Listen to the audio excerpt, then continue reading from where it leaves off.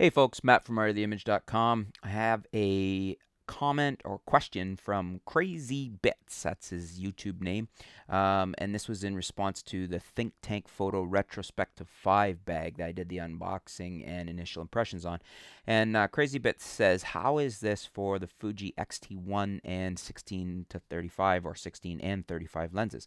My answer is I think it'd be fantastic. Here, I've got the bag right here still beautiful little bag. Really looking forward to getting this out and in full full use in production. But um, yeah, I mean, having had the XT1 here, uh, it's roughly the same size as my GX7 that I had in the bag here when I showed you guys that.